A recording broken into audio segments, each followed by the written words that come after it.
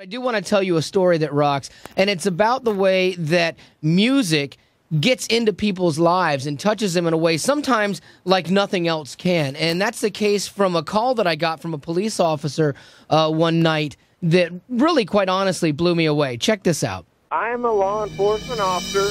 I had to transport a guy who was an attempted suicide. We're listening to you, driving in, and the Casting Crown song came on, and he had a knit cap on, and I, I noticed in the mirror he took it off, and about midway through the song, he started tapping on the divider, and he says, hey, can I talk to you real quick? And he's all teary-eyed and said, I just wanted to let you know during that song, I just accepted Christ for the first time ever your radio station, you talking, he accepted Christ right here in the back seat of my patrol car.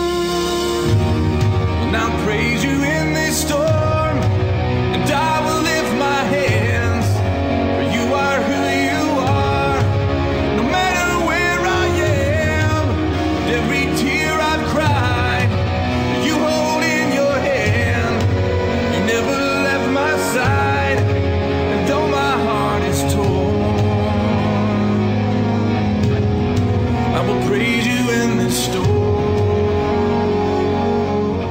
To me, that story is so amazing for a couple reasons. One, if you had told me that that happened before I got to Christian radio, because I spent my whole career in mainstream radio, I would have never believed it. But that's the kind of thing I get to see on a daily basis here is God meeting people where they are. And in this case, it was in the back of a patrol car.